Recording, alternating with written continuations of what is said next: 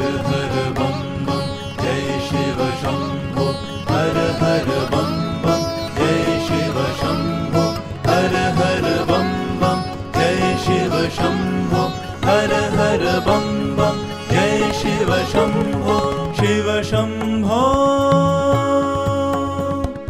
शिव शम्भो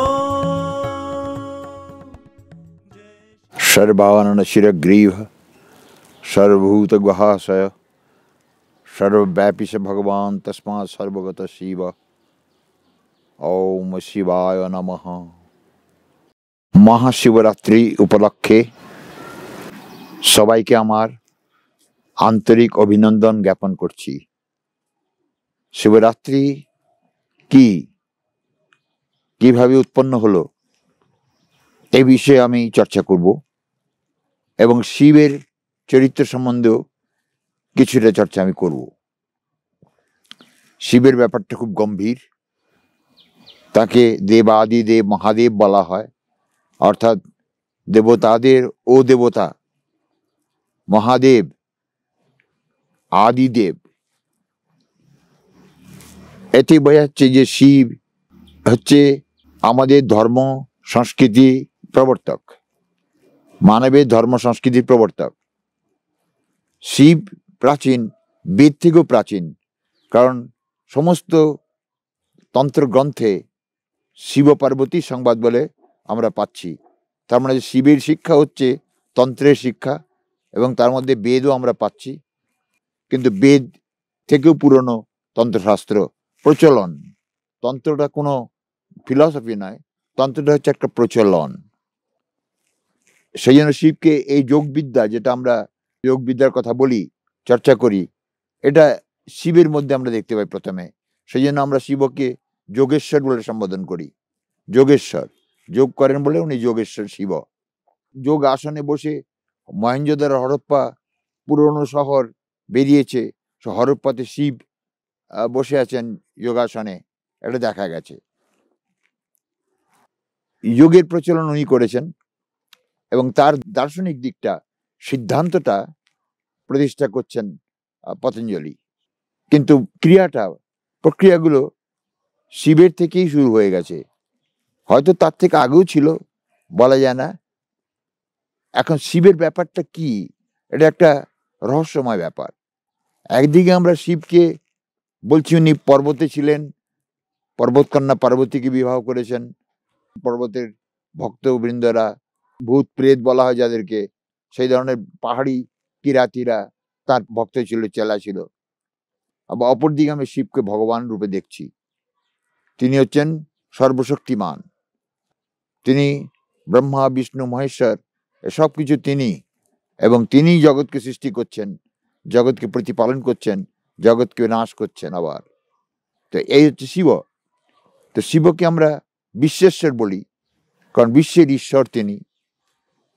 সর্বেশ্বর বলি সব কিছুর ঈশ্বর তিনি। ভূতনাথ বলি, এই সমস্ত ভূত, পঞ্চভূতের নাথ উনি। উনি হচ্ছেন মালিক। তারপরে ভোলানাথ। খুব আত্মভোলা। সবসময় মগ্ন হয়ে আছেন। সবসময় সমাধিতে স্থিত হয়ে আছেন। তারপর তাকে আশুতোষ বলা হয়। কেন আশুতোষ বলা হয়?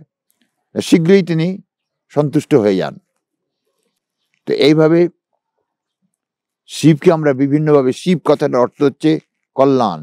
যিনি সকলের কল্যাণ করেন, তিনি হচ্ছেন শিব, কল্যাণ মূর্তি।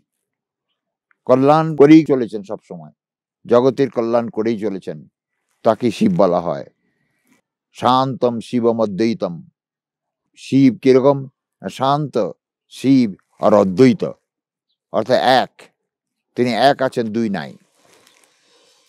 শিবের এই হচ্ছে নামগুলোর মোটামুটি শঙ্কর শঙ্কর অর্থ হচ্ছে সং মানে আনন্দ, কর মানে করে, যিনি সবাই আনন্দিত করেন, তিনি শঙ্কর শম্ভু শম্ভু যিনি আনন্দ প্রকাশিত করেন, ভূ, আবার স্বয়ং ভূ নিজেই নিজেকে উৎপন্ন করেছেন। শিবের পিতামাতাকে আমাদের জানা নেই, কেউ নেই, অথচ শিব আছেন। তিনি আছেন ছিলেন এখনও আছেন।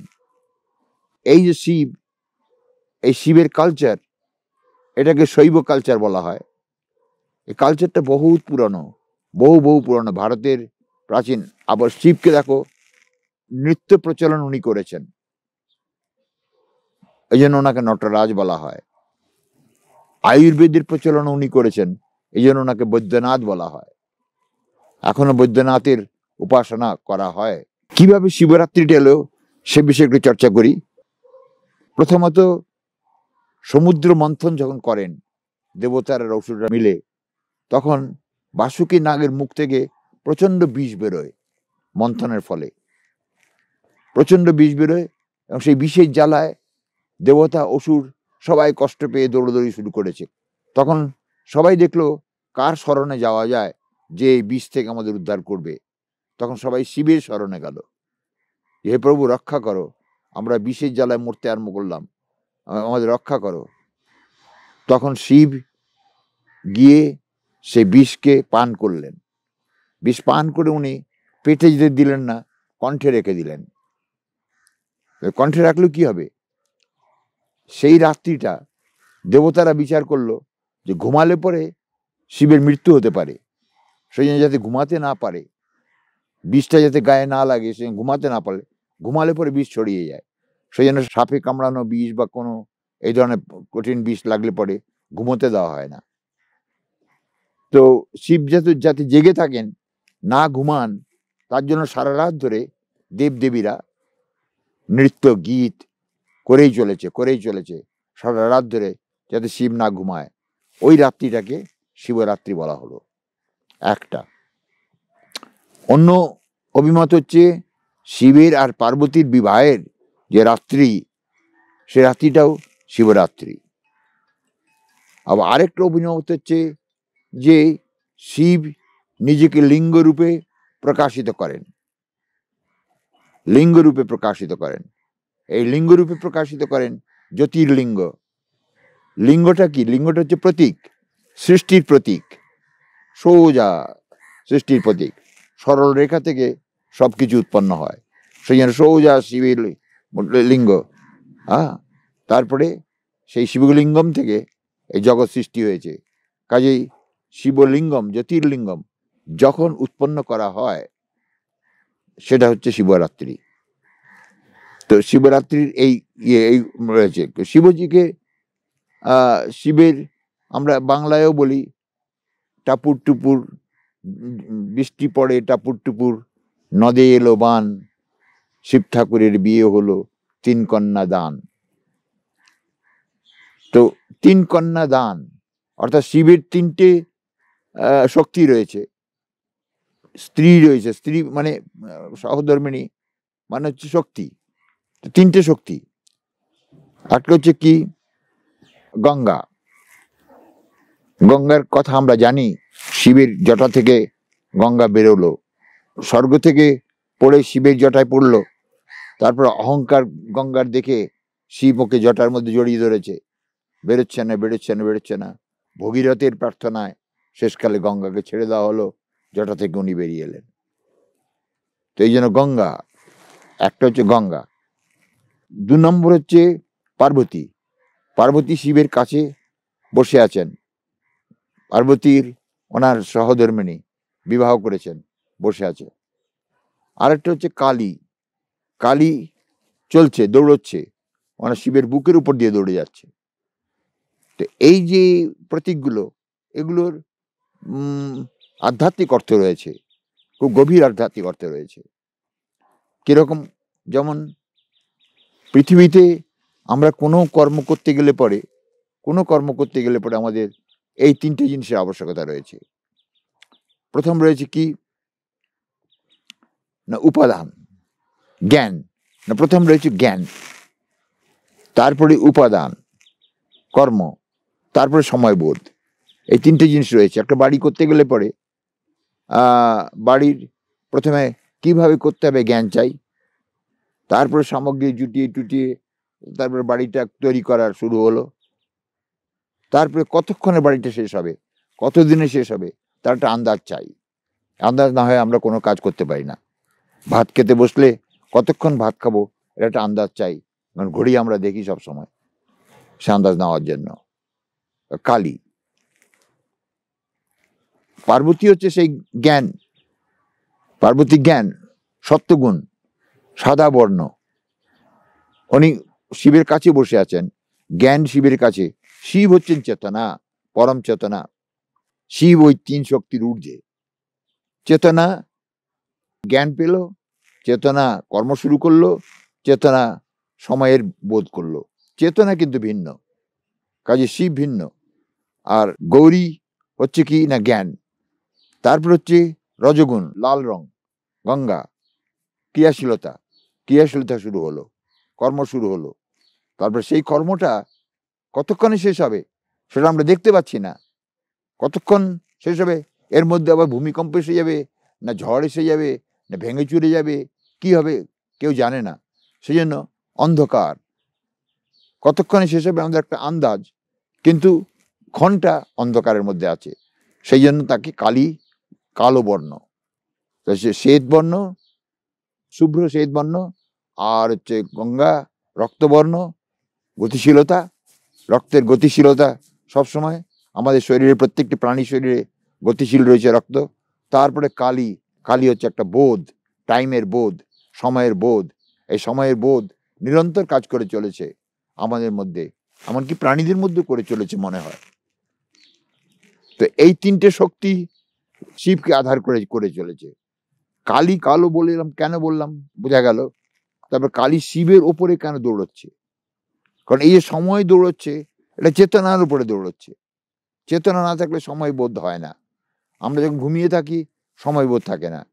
আমরা যখন একাগ্র হয়ে কোনো জিনিস দেখি, সিনেমা দেখি বা কিছু দেখি, সময়ের বোধ থাকে না। চেতনা না থাকলে পরে সময় বোধ থাকে না। দেশের বোধ, কালের বোধ আর পাত্রের বোধ এই তিনটেই চেতনার উপর আধারিত। কর্মক্ষমতারও চেতনার উপর আধারিত, কর্মের জ্ঞানও চেতনার উপর আধারিত আর সময়ের বোধও চেতনার উপর এই তিনটি জিনিস একত্র হলে পরে তবে জগতে এই যে বিশাল কর্মজগৎ চলছে, ব্যাপক, এই জগৎটা চলতো। একটা গাড়িতে চললে পরে আমরা আমাদের আমাদের আন্দাজ হয় কতক্ষণে গাড়িটা ওই জায়গায় পৌঁছবে। সে আন্দাজ না থাকলে পরে আমরা গাড়িতে চড়ি না। গাড়ি যদি বলে যে, আমি সবসময় ঘুরতে থাকব, আমার পৌঁছবার কোনো কারণ নেই, তাহলে সেই গাড়িতে কেউ চড়বে না। সময় বোধ থাকতে হবে। টাইম প্রত্যেকটা জিনিসের। আজকাল ভারতেও টাইম মেনটেন করার চেষ্টা আস্তে আস্তে আস্তে আস্তে আসছে। না হলে ইউরোপ, জাপান, এরা তো ট্রেন টাইমে ট্রেন আসা দেখে ঘড়িতে টাইম মিলিয়ে নেয়। এত কারেক্ট টাইমে আসে সব কিছু আমাদের ভারতেও চেষ্টা করছে, হয়তো হবে ভবিষ্যতে। এই হচ্ছে শিবের তিনটে শক্তি চর্চা হলো। এবারে শিবের শরীরে আমরা যে শিবের যে রূপ পাই, সেই রূপের আমরা কি পাচ্ছি? প্রথমত জটা। জটা হচ্ছে জ্ঞানের প্রতীক। আর তারপরে চন্দ্র। চন্দ্র হচ্ছে আনন্দের প্রতীক। উনি ধ্যান করে সমাধি লাগিয়ে যে আনন্দটা পান, সেটাকে চন্দ্রমার সঙ্গে তুলনা করা হয়েছে। সেই জন্য উনি চন্দ্রেশ্বর, তাকে চন্দ্রেশ্বরও বলা হয়। আর তারপরে ওনার কাছে ত্রিশূল রয়েছে। ত্রিশূল জিনিসটা কি? তিনটে শূল। শারীরিক, আদি ভৌতিক, আদি দৈবিক, আধ্যাত্মিক। তিন রকমের কষ্ট মানুষকে ভোগ করতে হয়।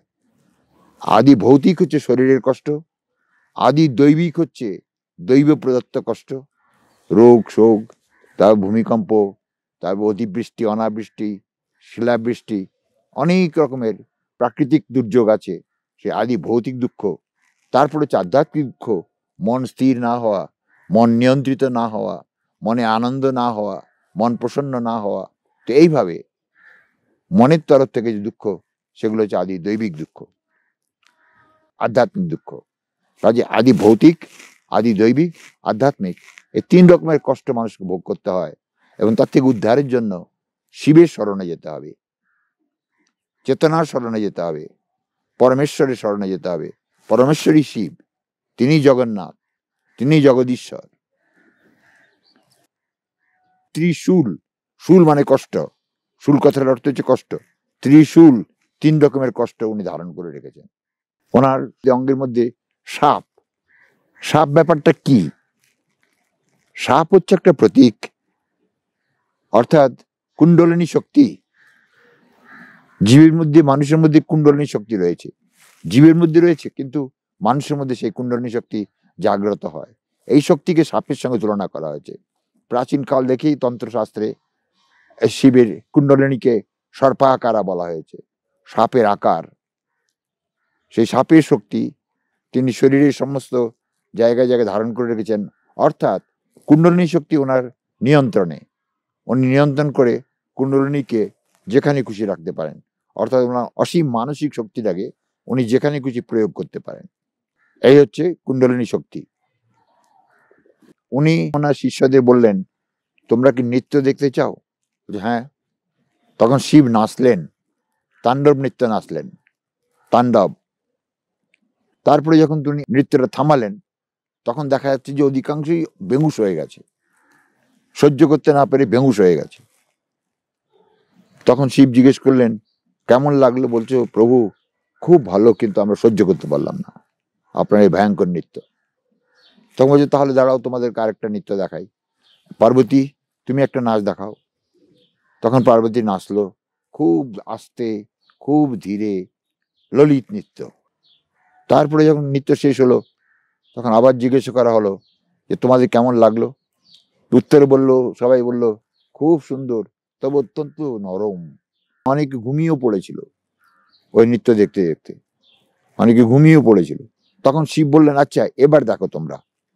তো তাণ্ডবের তা আর ললিতের ল, এই দুটো জুড়ে তাল তাল উৎপন্ন করলেন। তখন তাল নৃত্য শুরু করলেন উনি। তালে তালে নৃত্য শুরু করলেন। তখন তবলা বাজলো, মৃদঙ্গ বাজলো, তখন খুব আনন্দ হলো। সবাই আনন্দিত হচ্ছে।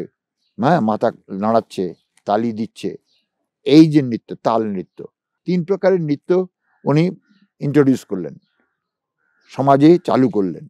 সেই তিন প্রকারের নৃত্য আজকে সারা বিশ্বে চলছে। সমগ্র বিশ্বে এই তিন পদ্ধতিকে অনুসরণ করা হয়। রাগগুলোতে প্রথম আমরা ধীরে শুরু করি। আলাপ শুরু করি। এই আলাপ শুরু করলে পর সেটা ললিত হয়ে গেল। তারপর আমরা তালের মধ্যে চলে আসি। তারপর আমরা তাণ্ডবের মধ্যে চলে আসি। খুব জোরের সঙ্গে মিউজিকটা চলতে থাকে। তবলাও জোরে বাজে, মিউজিকটা খুব জোরে জোরে হতে থাকে। খুব তাড়াতাড়ি, দ্রুত হতে থাকে। দ্রুত। ললিত, তারপরে তাল, তারপরে তাণ্ডব। তো সর্বত্র পৃথিবীতেই এইভাবে এই তিনটে প্রিন্সিপালকে এই তিনটে পদ্ধতিকে অবলম্বন করে সংগীত বা নৃত্য বা যে কোনো মিউজিক এই তিনটের মধ্যেই হয়। তিনটের বাইরে হয় না। দ্রুত, অতি দ্রুত হতে পারে, সেটা অন্য কথা। ললিত, অতি ললিত হতে পারে, অতি স্লো অতি ধীরে হতে পারে, কিন্তু এরই মধ্যে রয়েছে। তাই উনি নটরাজ, আর সঙ্গীতের জন্য ওনার নাম হচ্ছে নাদ তনু ওনার তনু থেকে উনি অদ্ভুত অদ্ভুত আওয়াজ বের করেন। নাদ, আর এই ডমরুটাও নাদের প্রতীক। ডমরুটা হচ্ছে অনাহত নাথের প্রতীক, অনাহত নাদ। আর শরীর থেকে উনি সঙ্গীতের নাদ উৎপন্ন করেন। আর উনি ব্যাকরণ উনি দিয়েছেন। সংস্কৃত ব্যাকরণের পদ্ধতিটাও ওনারই প্রদত্ত। এইভাবে উনি কালচার আমাদের আমাদের সংস্কৃতি, সে সংস্কৃতিকে উনি প্রচলনে নিয়ে আসেন, সাংস্কৃতিক প্রচলন। তারপর বৈদ্যনাথ ওষুধের প্রয়োগ করেছেন। রোগ ভালো করার জন্য বিভিন্ন ওষুধের নাম দিয়ে দিয়েছেন, করেছেন বা উনি করতেন। হয়তো উনি পর্বতে যখন থাকতেন, তখন লোকেরা ওনার কাছে রুগীদের কষ্ট, কষ্টে যারা পড়ে আছে, তাদের নিয়ে এসে তাদের ঠিক করতেন। তো এইভাবে শিব একটা পরম দেবতা রূপে আমাদের হিন্দু সমাজে প্রতিষ্ঠিত হয়ে গেছে। এবং শিবলিঙ্গের পূজা আমরা করে থাকি এবং এই লিঙ্গের পূজা করলে পরে আমাদের আত্মায় শান্তি আসে। কারণ লিঙ্গ মানে হচ্ছে বিশ্ব ব্রহ্মাণ্ডের স্রষ্টা, তারই প্রতীক। মেয়েরা শিবের ব্রত করে বাংলায়, এতে অবশ্যই ফল হয়। শিবরাত্রি পালন করাতে অবশ্যই ফল হয় এবং মেয়েরা স্বামীর জন্য করে, ভালো করে করলে পরে হয়তো ভালো স্বামী অবশ্যই প্রাপ্ত হওয়া যাবে।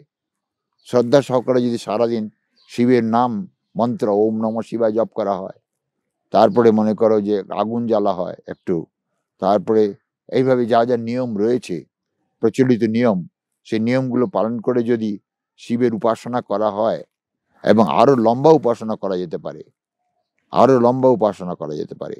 শুধু এইটুকু নয়, একদিন শুধু নয়, আজকে শুরু করে আরও হয়তো পূর্ণিমা পর্যন্ত, অমাবস্যা পর্যন্ত করলে বা কতদিন পর্যন্ত করতে ইচ্ছা হয়, ততদিন পর্যন্ত করলে, করে শিবের উপাসনা বৃথা হয় না। কখনো বৃথা হয় না। শিবকে আশুতোষ বলা হয়, কারণ উনি খুব শীঘ্র ফল দেন। বলেই ওনাকে আশুতোষ বলা হচ্ছে। আর উনি যুদ্ধবিদ্যায় উনি পারঙ্গত, যুদ্ধেও পারঙ্গত সেই জন্য ওনাকে বীরেশ্বর বলা হয়। বীরেশ্বর। তারপরে বলা হয় বীরভদ্র।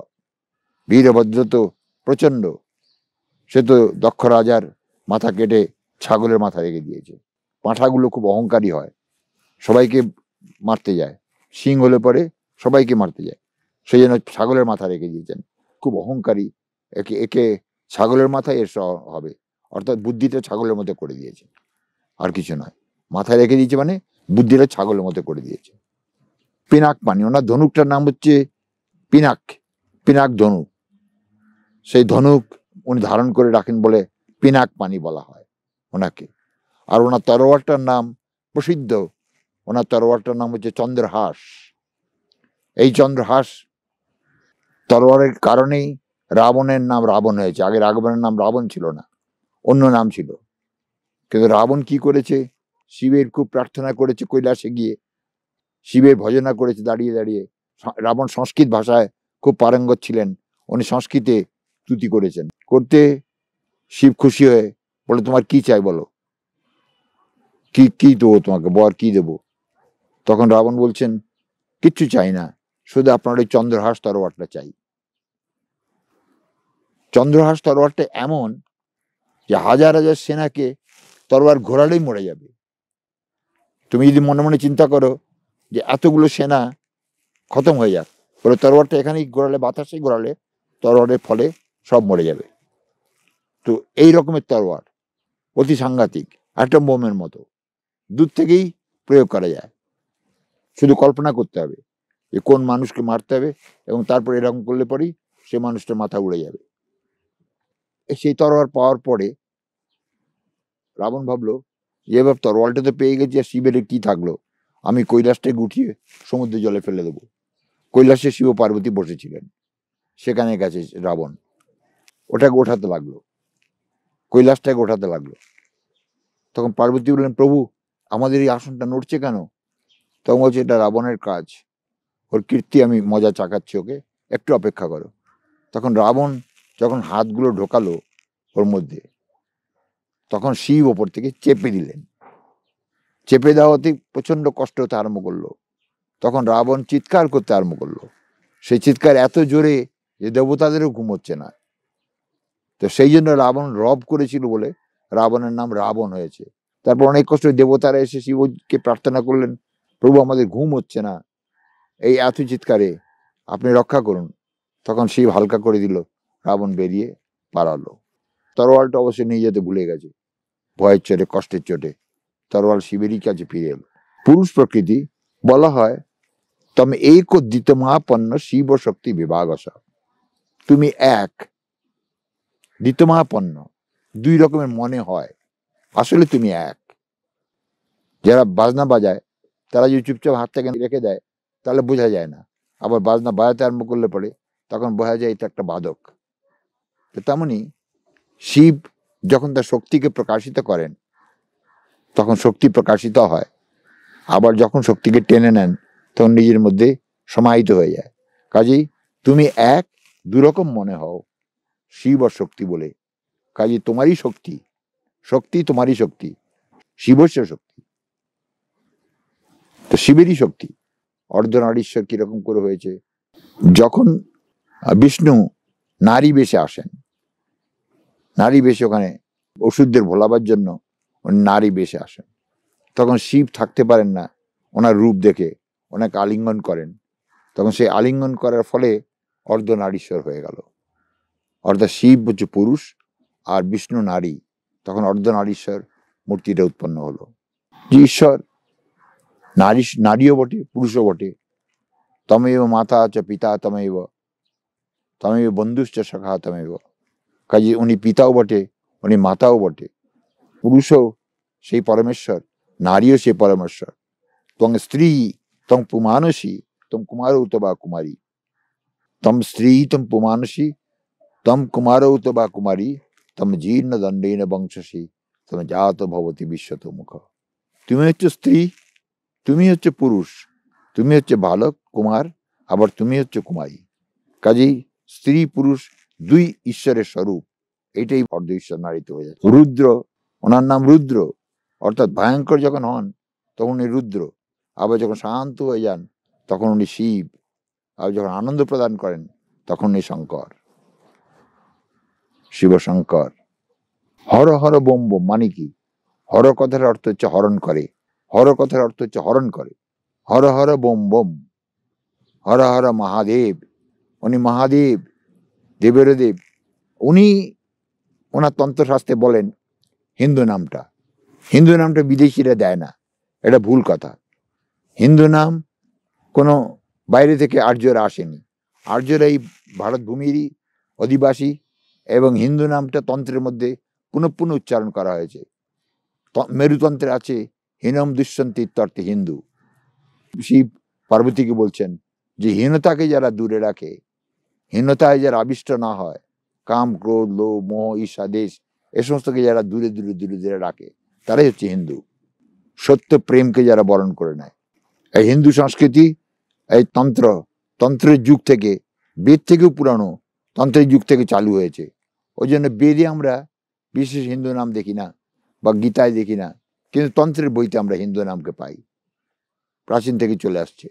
নটরাজ পদ্যে সব প্রাচীন, অনেক প্রাচীন।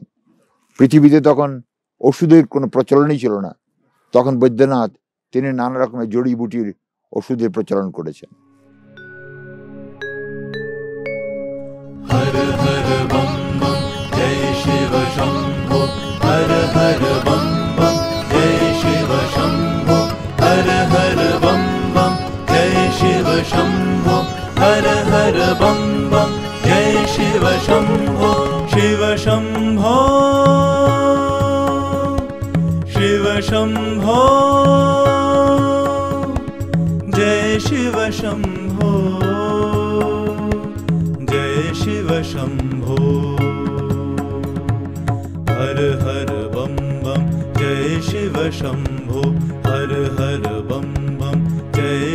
शम्भो शिव शम्भो शिव शम्भो शरण पड़े हम तुम्हारे, शरण पड़े हम तुम्हारे, शरण पड़े हम तुम्हारे। उद्धार कर दो प्रभु शिव शिव शम्भो हर हर बम बम, जय शिव शम्भो हर हर बम बम, जय शिव शम्भो शङ्कर भोले, जय कृपाला। शङ्कर भोले, जय कृपाला। कंठ में दोले